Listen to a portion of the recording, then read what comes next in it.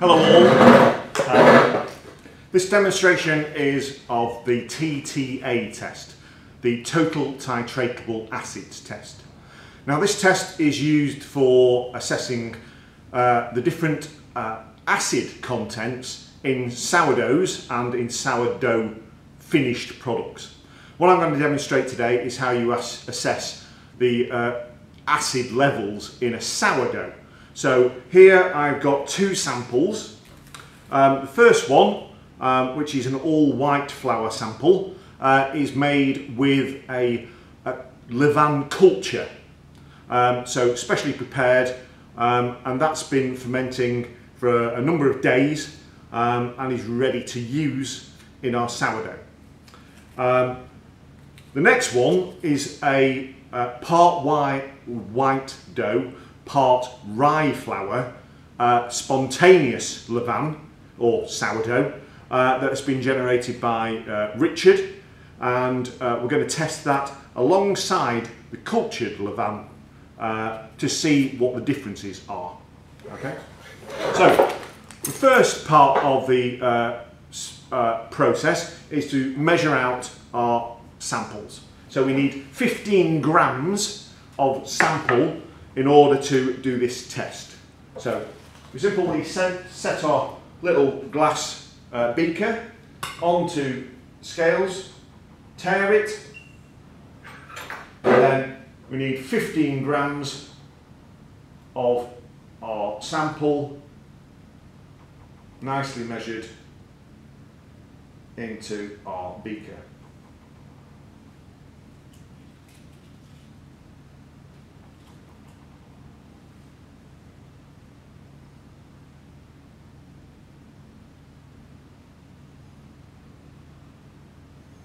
This can be quite tricky, but you need to get it very accurate. So be very careful with the last bits. That's 15.01, so I'll just remove some from that.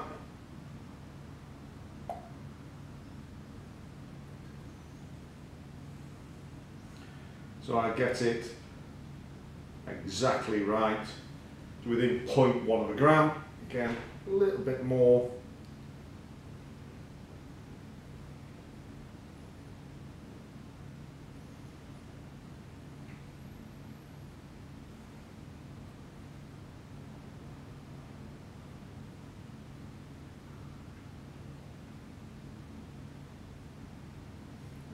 go. So that's my first sample.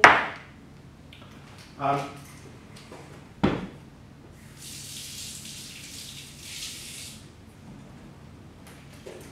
so I would do exactly the same for the second sample. Um, so measure it up and I'll do that shortly and you'll see the results in a few moments. However, what I need to do next is uh, to this sample that I've just produced, I need to add, um, as it says, 100 millilitres of distilled water. Okay, so I've got my distilled water in a squeezy bottle, and so I'll start by simply taking the top off and pouring some in. I need 100, so when I get close, I'll use the squirter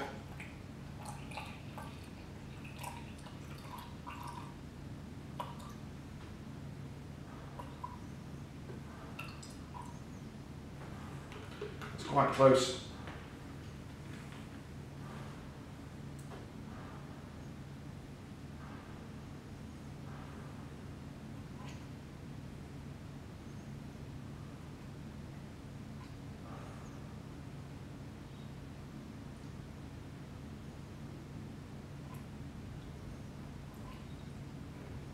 Okay, there's my 100 mil. I then need to take some parafilm now, uh, this is like a paraffin wax type sub substrate. And um, what I do is I peel the parafilm off the backing. This can be quite tricky, especially if you're using, if you've got gloves on, but that's why it's better to prepare your samples before you actually start the test.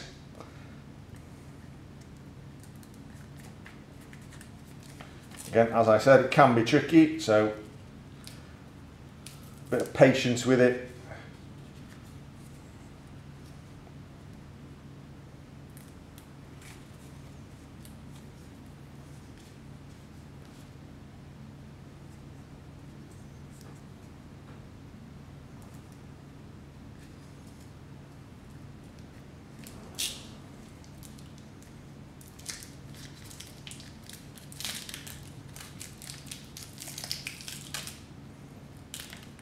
When you eventually get the stuff off the sheet,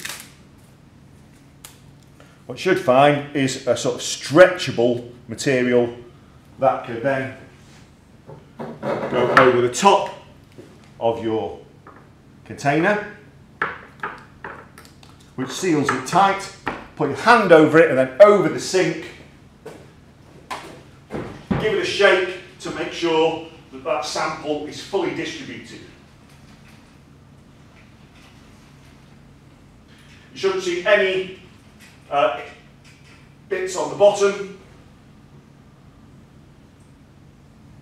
And then you can take the parafilm off and it's ready to test.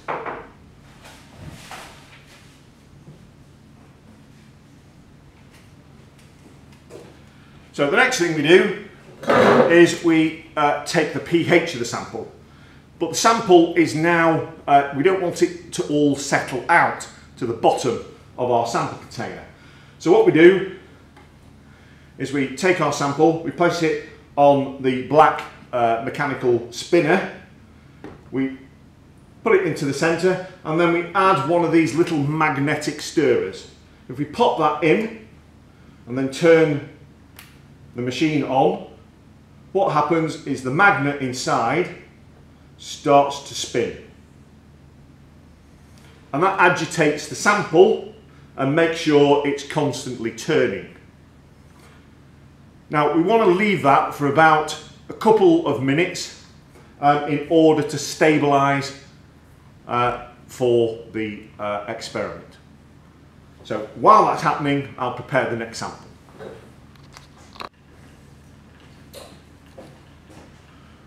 Okay, so we're on to the next part of the process. So that means that I have to wear my safety equipment. So I need to wear my safety spectacles and I need to wear gloves. The reason for this is because in the burettes are, is uh, a solution of one molar NaOH,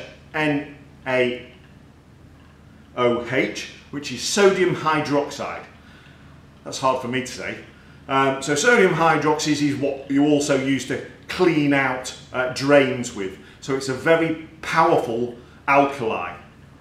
Okay, so we don't want to get that on us uh, and therefore we must use the right PPE.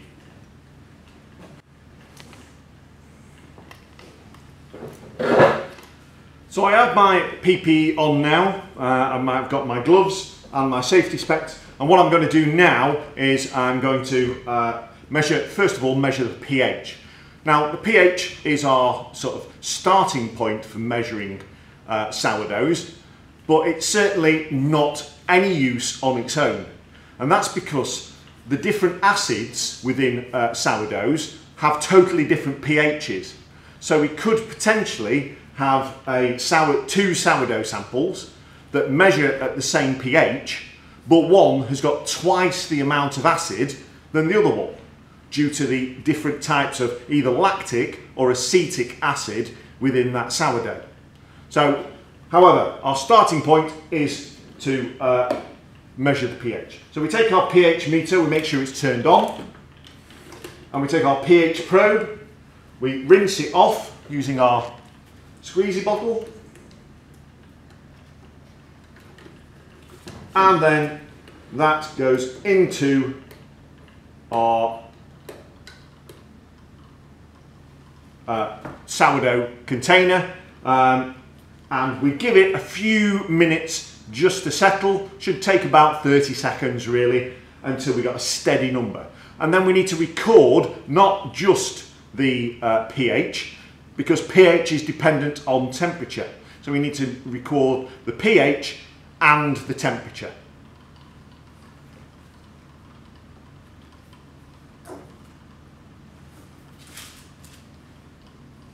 So my reading is now stable, so I'm going to record that at uh, 4.01 at 25.0 degrees C.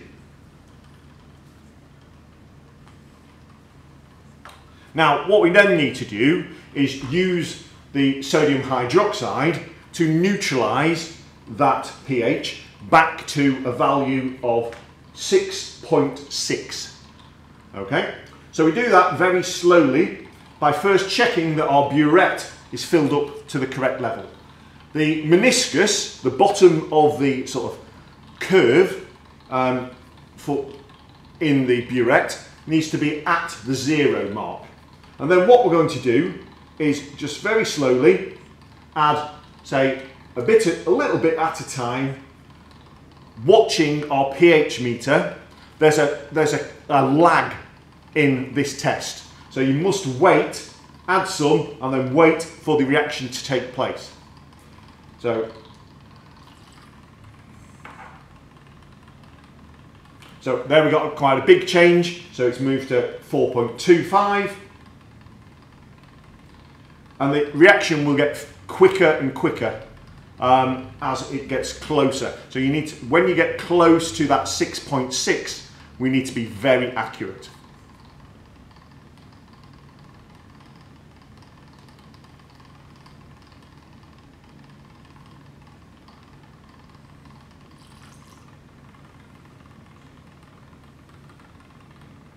So it's going up.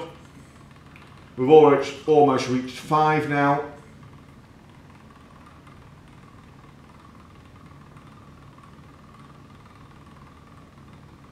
Okay, and very close to the end,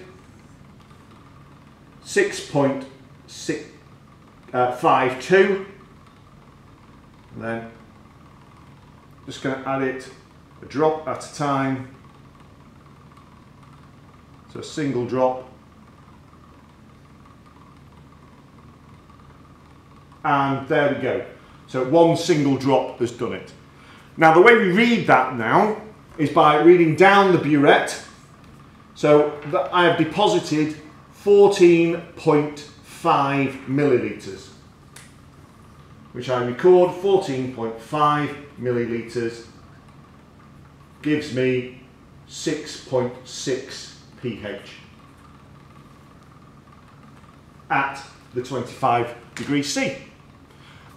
So once that's done, what we would then do is uh, swap all our samples over, um, being very careful to top this back up and reset it to the meniscus at zero so we can do our second sample.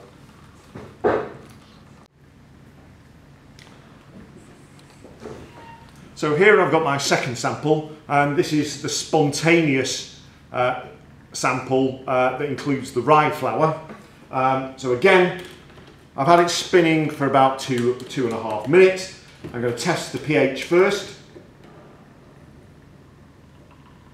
So again, apply that, make sure that I read that sample and the temperature that it's uh, being uh, that it's at.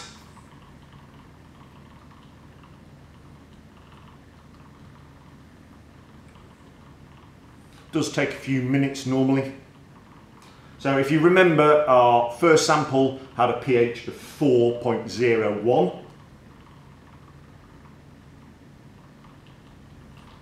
So, and this sample has a pH of 4.01 to 3 at 25.0 degrees C. Right, so now I can start uh, adding my um, sodium hydroxide solution. So once again, I'm watching my um, pH meter and I'm trying to get to that target level of 6.6, 6 point, right, 6 point, let me just check. Um, yeah, 6.6, I was right.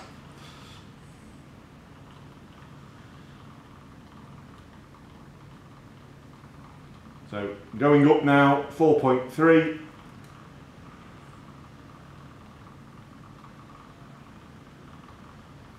Four point six.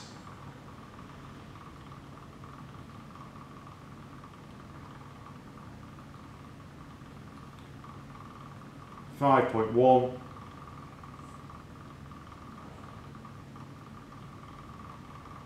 Five point six.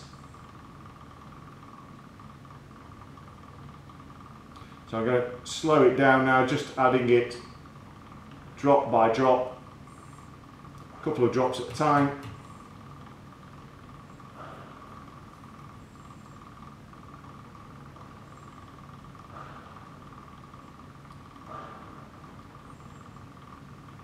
I've gone over six now.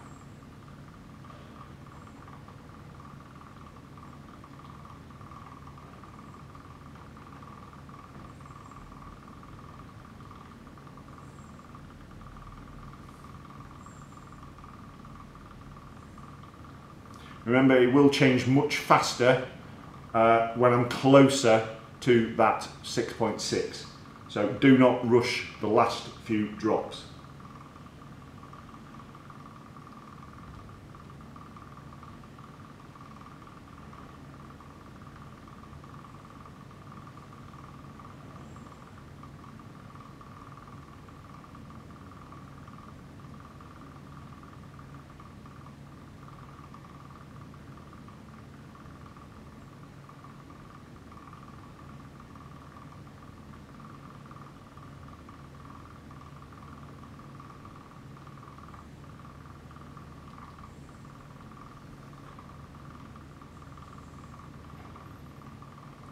There's my 6.5.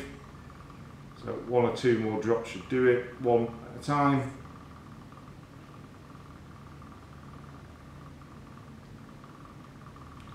Six point five seven.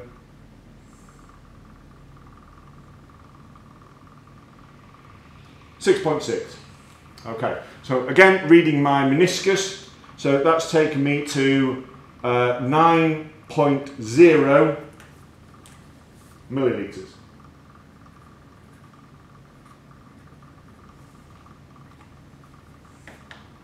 Okay, so um, so my results were for our uh, culture special cultured sourdough 4.01 pH at 25 degrees C and I used 14.5 milliliters of the sodium hydroxide to neutralize it. The second sample, which had a slightly higher pH, 4.23 um, uh, on the pH at 25 degrees C, but significantly less sodium hydroxide used, so only 9.0 milliliters, which would suggest to me that the second sample, the spontaneous sourdough sample, um, uh, has a much uh, has much less physical acid within it um, due to the blend of bacteria that's been produced in that sample. Okay. Now that's how you measure those samples. So what I can do now uh, is finish off the experiment and clean up after myself, remembering that this burette still has dangerous sodium hydroxide in it. So first I'll remove my pH meter and give that a clean before it goes back into its standard holder. I'm then going to take very carefully my sample. This is neutralised now, so this is safe. However, if there's any drips on here, it could eat through our machine. So we're going to put our little plastic tray back on there. And then the little stirrer that is in here, we want to get that out before we tip the rest of the sample down the sink. So we use our little um, grabbing magnet, run it up the side, and as you can see, our little sample has come out, our little stirrer, and we can safely clean that on its own. The rest of it goes down the sink, lots of clean water, and then washed out thoroughly and dried for the next sample to be used. And that is how you do a total titratable acid test on a sourdough sample. Thank you.